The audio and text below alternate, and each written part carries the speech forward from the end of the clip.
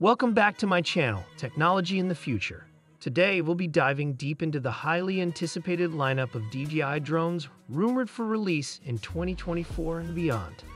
DJI, the undisputed leader in consumer drone technology, is constantly pushing the boundaries of innovation, and this year promises to be no different.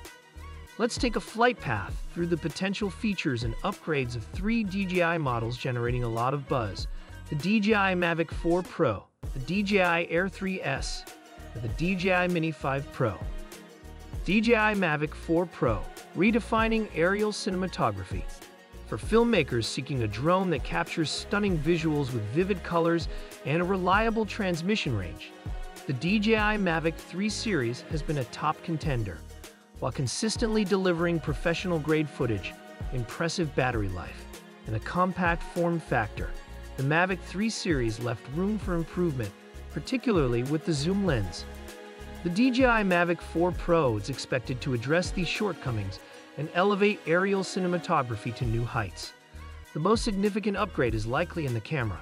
While the current Mavic 3 can shoot impressive 5.1K videos, competitors are offering 6K and even exploring 8K territory.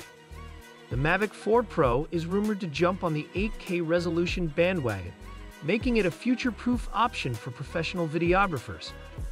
While the sensor may remain the same, the main lens could see a significant improvement.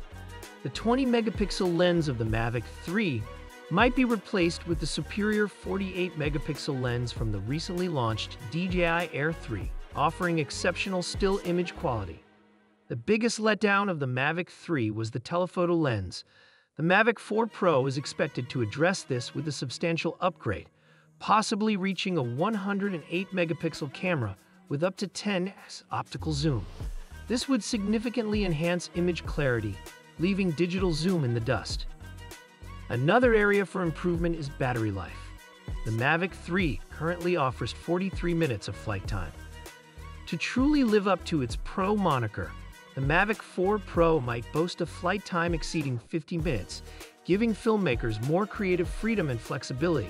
In terms of transmission range, the Mavic 3 falls short compared to the Air 3.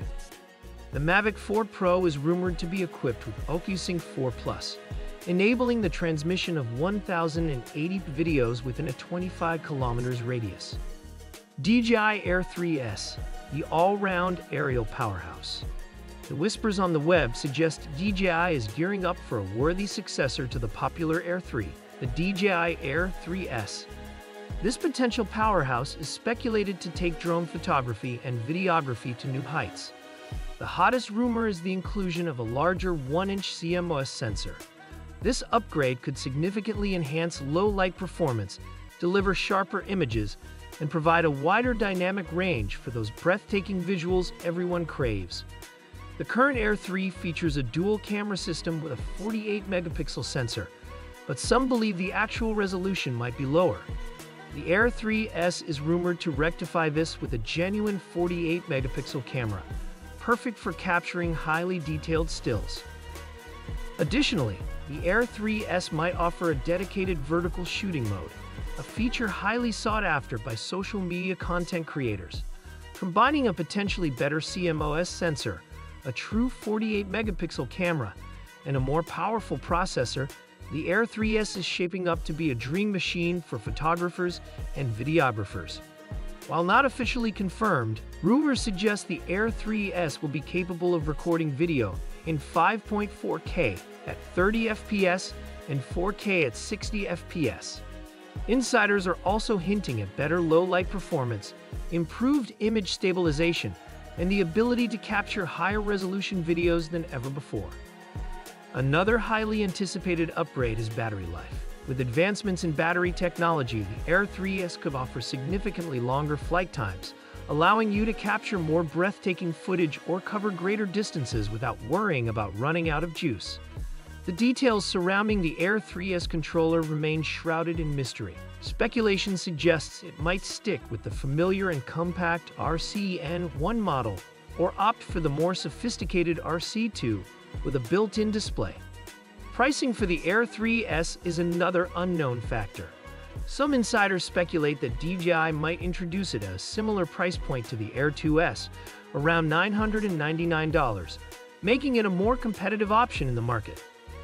As for the release date, considering DJI's usual product release patterns, we might see the Air 3S debut around July 2024, following the timeline of its